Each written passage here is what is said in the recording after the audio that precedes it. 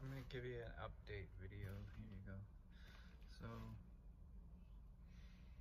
this is a lot of work, and to be honest, I'm a little overwhelmed. uh,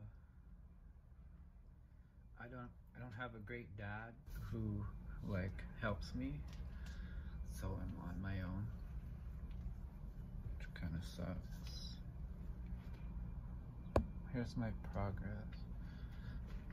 Well, there. Are the seats out? And quite a bit of rust. I'm not gonna lie.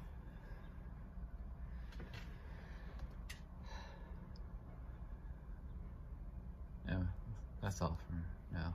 Quick update.